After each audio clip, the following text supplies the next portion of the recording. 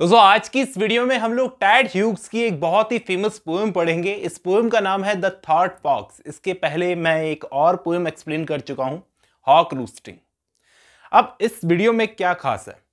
दोस्तों, आपको the thought fox की लाइन बाय लाइन एक्सप्लेनेशन तो हर जगह मिल जाएगी। बेसिकली मैं भी क्या करता हूँ, आपको लाइन बाय लाइन एक्सप्लेनेशन तो दे देता हूँ, लेकिन उसका डीप मीनिंग नहीं बताता। अब से मैंने कुछ चेंजेस किए हैं, जो आपके आंसर राइटिंग में आपको बहुत हेल्प करेंगे।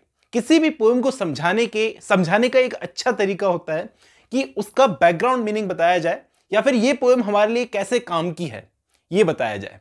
दोस्तों, मैंने कुछ टेक्निक्स चेंज की है। इस वीडियो में मैं आपको लाइन बाय लाइन एक्सप्लेनेशन नहीं बताऊँगा, बल्कि इसका डीप मीनिंग बताने की कोशिश करूँगा। चलिए शुरू करते हैं, बहुत ही इंटरेस्टिंग होने वाली ये वीडियो मिलता हूँ इस वीडियो के एंड में। दोस्तों, इस पोएम को शुरू करने से पहले मैं आपको बता देता हूँ कि टैड ह्यूक्स ने इस पोएम को अपने एक volume of poems the hawk in the rain में पब्लिश करवाया था।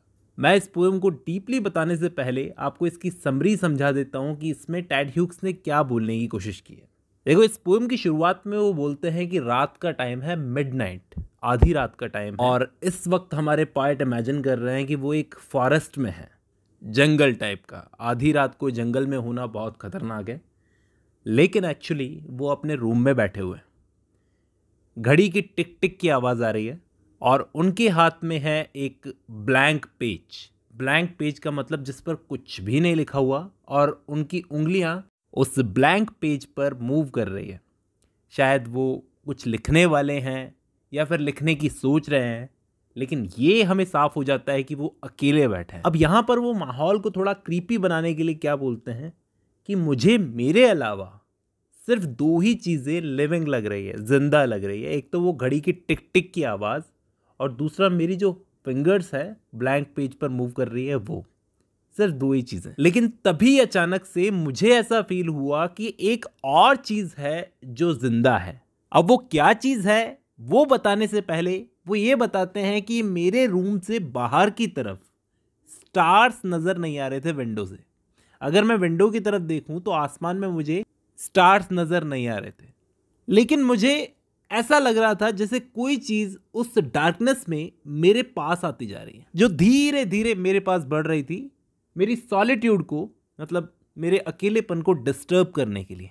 फिर वो रिवील करते हैं कि वो एक फॉक्स है मतलब एक लोमड़ी जो मेरी तरफ़ बढ़ रही थी, शायद वो जंगल से आई थी। और मेरी तरफ़ बढ़ते हुए मैंने फील किया कि उसकी जो नाक है ना फॉक्स की नाक, वो जंगल में पत्तों से, टहनियों से टच हुई। माहौल बहुत ठंडा था। बाहर बर्फ़ पड़ी हुई थी, स्नो, जो सॉफ्ट बर्फ़ होती है ना, जिस पर चलने से निशान बन जाए। तो वो फॉक्स जैसे जैसे आगे बढ़ रही थी ना तो टैड ह्यूक्स बोलते हैं कि जैसे जैसे वो फॉक्स आगे बढ़ रही थी ना तो पेड़ों के बीच में जो स्नो पड़ी हुई थी, उस पर उसके पैरों के निशान बनते जा रहे थे। बस वो उस फॉक्स के बारे में इतना बताते हैं, तभी अचानक वो फॉक्स, वो लोमड़ी आकर उनके दिमाग के डार्क होल में घुस जाती है। बस इतना सा हुआ, वो बोलते हैं कि अभी भी मुझे विंडो से कोई स्टार्स नज़र नहीं आ रहे। घड़ी की टिक टिक की आवाज़ अभी भी आ रही है, लेकिन अब वो ब्लैंक पेज ब्लैंक नहीं रहा। मतलब उस पर शायद उन्होंने कुछ लिख लिया है। एक्चुअली दोस्तों, ये फॉक्स, ये लोमड़ी जो है, उनके दिमाग की उपज है। मतलब रियल लोमड़ी है नहीं ये। ये जस्ट टैड ह्यूक्स की इमेजिनेशन है।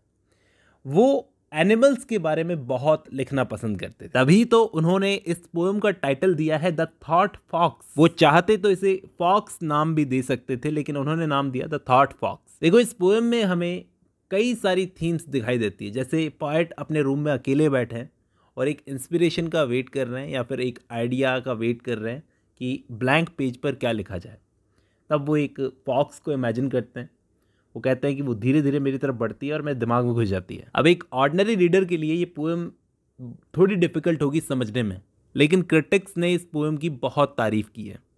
जैसे फॉक्स है, उसको एक कनिंग टाइप का जानवर माना जाता है, जो चालाक होता है और दूसरे जानवरों का एडवांटेज लेता है।